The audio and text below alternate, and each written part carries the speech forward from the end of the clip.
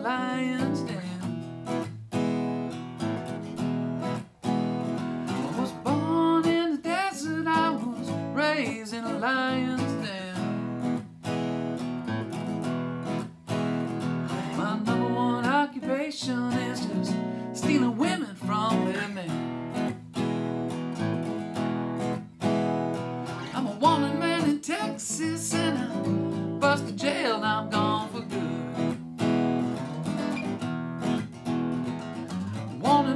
Texas and I busted jail and I'm gone for good.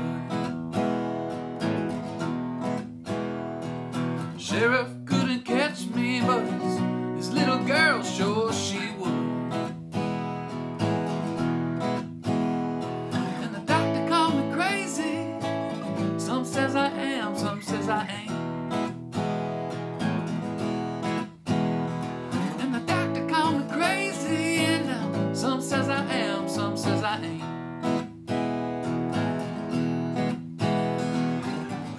Called me a sinner, but